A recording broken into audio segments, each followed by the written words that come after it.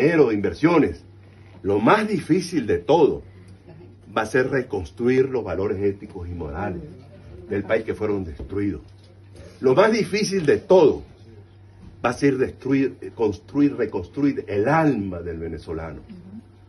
El alma del venezolano la destruyeron esta gente, pero tenemos que reconstruirla, porque el futuro de nuestra nación, que hoy está en Colombia, en Ecuador, en Perú, en Chile, en Argentina, en España, en todos los países del mundo, la nación venezolana no es el territorio.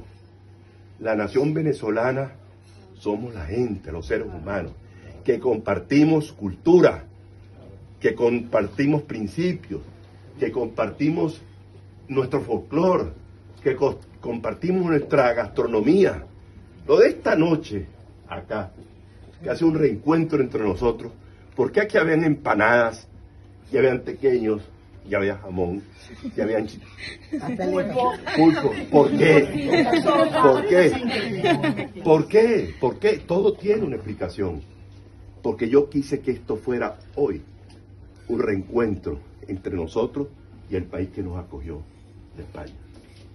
Aquí, está, aquí estamos así.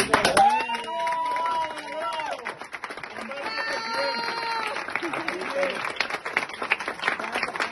estamos, aquí estamos, aquí estamos haciendo vida en este país que ahora nos abre sus brazos, sus puertas, donde estamos tratando de rehacer nuestra vida.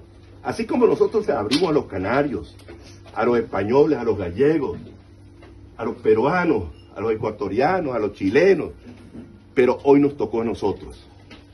Lo único que les quiero decir para finalizar, porque no hay vaina más fastidiosa que un discurso largo.